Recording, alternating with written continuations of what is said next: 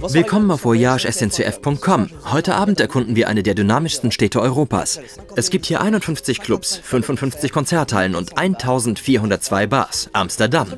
Wir zeigen, wo sich das Nachtleben abspielt. Ausgangspunkt ist das Rotlichtviertel.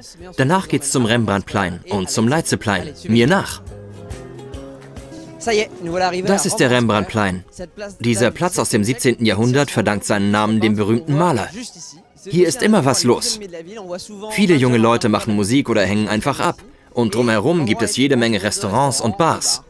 Langsam bekomme ich Hunger. Ich empfehle das Café de Krone. Es ist schick und trotzdem erschwinglich. Perfekt.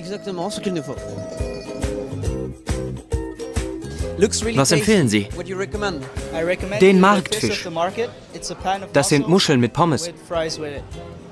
Ist das typisch holländisch? Ja.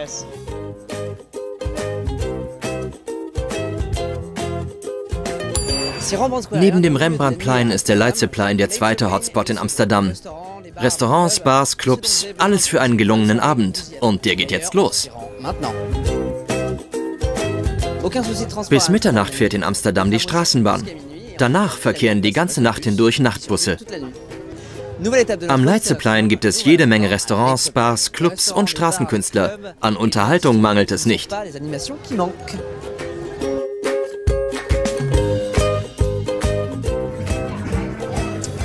Ich bin im siebten Stock eines industriell anmutenden Hochhauses in Amsterdam West, im Canvas. Was ist das Besondere hier?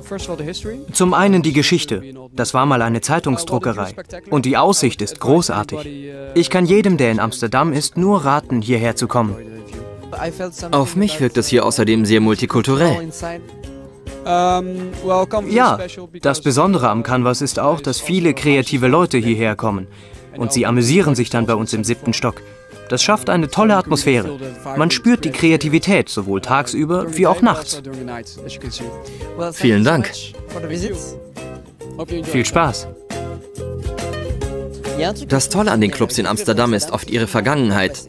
Das Paradiso war früher eine Kirche und jetzt finden dort Konzerte statt. Dahin verabschiede ich mich jetzt. Wenn auch Sie eine Wahnsinnsnacht in Amsterdam erleben möchten, gehen Sie einfach auf voyagesncf.com.